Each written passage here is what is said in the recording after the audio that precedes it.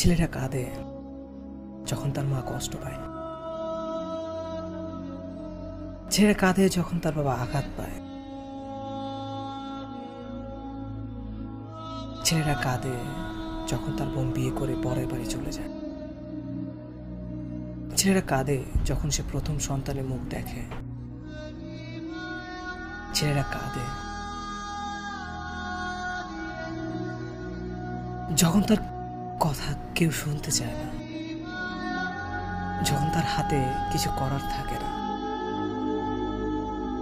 যখন শত চেষ্টার পরও তাকে হার মানতে হয়। ছেলেরা কাঁদে যখন সে সম্মান হারায়।